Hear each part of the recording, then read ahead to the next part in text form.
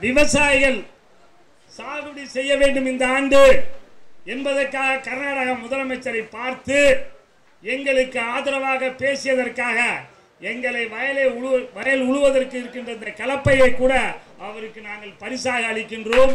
எங்களுக்கும் இந்த கலப்பையால் உழுவோம் என்பதை தெரிவித்துக் கொள்கிறோம். மழைக்கு நன்றி. என் குடும்பத்தார் என்னை அன்புடன் அரவணைத்ததற்கு நன்றி. இது ரெண்டும் என்னை அரவணைத்தால் என் வாழ்க்கை சீர்படும் என்பது எனக்கு தெரிகிறது. இங்கே விவசாயிகளின் எதிர்காலம் சிறப்பாக இருக்கும் என்பதற்கு மேளம் தட்டி வழிமொழிகிறது ம- மழை. இந்த மழை எனக்கு புதிதல்ல. முந்தானத்து கர்நாடகாவில் சந்திக்க போன போது மழை பெஞ்சிட்டு இருண்டு மேகம் இருண்டு கேட்ச்மெண்ட் ஏரியாலாம் மழை பெஞ்சிட்டு இருந்தது. அதையும் நான் எடுத்து சொன்னேன் முதல்வரிடம். உங்களுக்கு கொடுப்பதற்கு நீர் இயற்கை தந்திருக்கிறது என்று நான் சொன்னேன். நல்ல ஒரு மனோநிலையில் இருக்கிறார்கள். அதை பயன்படுத்திக் கொள்ள வேண்டும். இங்கே வேறு கேள்விகளுக்கெல்லாம் இடமே இல்லாமல் பதில் சொல்லிவிட்ட எனது குடும்பத்தாருக்கு தனித்தனியாக பெயர் சொல்லல. இதுதான் என் குடும்பம். இவங்க போட்ட சாப்பாடு என் உடம்புலையும் இருக்குது அவங்க உடம்புல எவ்வளோ இருக்கோ அதை விட கொஞ்சம் ஜாஸ்தி என் உடம்புல இருக்குது ஏன்னா அவங்க வேலை செஞ்சுட்டு கொஞ்சமாக சாப்பிட்டு எனக்கு நிறையா மூட்டை மூட்டையாக கட்டி கொடுக்குறாங்க. அதனால் அவர்களுக்கு நான் பட்ட நன்றி கடனை தீர்ப்பதற்காகத்தான் நான் போனேன். அவ்வளோதான் அது அதுவே போதுமானது. நான் சொல்வதற்கான காரணம் அது ஒன்றே போதுமானது. மேற்படி உள்ள காரணங்களையும் உரிமைகளையும் அவர்களே எடுத்து சொன்னார்கள்.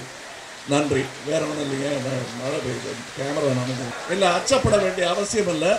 யாரும் யாருடனும் சேர்ந்து தமிழர்களை வண்டிக்க மாட்டார்கள். இன்னும் சொல்ல போனால் கர்நாடக விவசாயிகளும் தமிழக விவசாயிகளும் கலந்து பேசினால் அரசியல்வாதிகள் உள்ளே புகுந்து ஆப்பு வைப்பதற்கு இடம் இருக்காது. நான் யார் நான் யாருன்னு கேட்டுக்கிட்டு இருக்காங்க. அதுக்கு வேண்டாம் பதில் சொல்றேன் நான் யாருன்னு. ஆயிரத்தில் ஒருவன்லாம் இல்லை நான் கோடியில் ஒருவன் ஏழரை கோடியில் ஒருவன். கண்டிப்பா குரல் கொடுப்பேன். அதற்கான முதல் கட்டம் தான் இதுவும் ஏதோ திடீர்னு தோணி போய் செய்யலீங்க. ஏற்கனவே போன மாதம் நாங்கள் கூடிய பொழுது இப்படி ஒரு தீர்மானம் போட்டோம். இது தீர்ப்பு. இந்த தீர்ப்பு செயல்படுகிறதா என்பதை கண்காணிக்க ஒரு குழு அமைக்க வேண்டும் என்று நாங்கள் எடுத்த தீர்மானத்தின் ஒரு நட அதை நோக்கி நகரும் ஒரு நகர்வாகத்தான் நான் இதை நினைக்கிறேன். இல்லைங்க என்னுடைய படமும் தடைப்பட்டிருக்கிறது. விஸ்வரூபத்திற்கும் தடை என்று அங்கே அறிவித்து விட்டார்கள். காலாவிற்கும் தடை என்று அறிவித்து விட்டார்கள். இதை வந்து அந்தந்த சேம்பர்கள் வியாபாரிகள் பேசி சுமூகமாக எப்படி விவசாயிகள் பேசி தீர்த்து கொள்ள வேண்டுமோ அதே போல் வியாபாரிகளும் பேசி தீர்த்து கொள்ள முடியும்.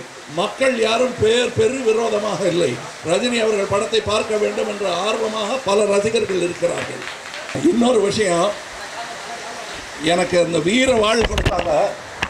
வீரம் கண்டிப்பா இருக்கு. ஆனால் அந்த வாழ் அறுவடைக்கு பயன்பட போகிறது பாருங்கள். வேற எதுக்கும். சண்டைக்கு போக போறது இல்லை நான். சமாதானம் தான் என்னுடைய எண்ணம் இந்த வாழ் அறுவடைக்கு பயன்பட வேண்டும் என்று நான் கேட்டுக்கொள்கிறேன் நன்றி